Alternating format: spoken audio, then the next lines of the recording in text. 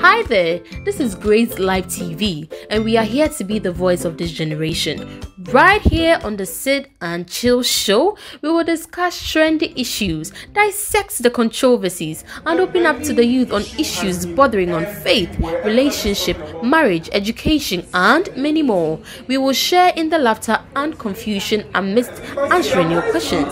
So come, let's take a break, pick up your glasses, say cheese, let's sit and chill.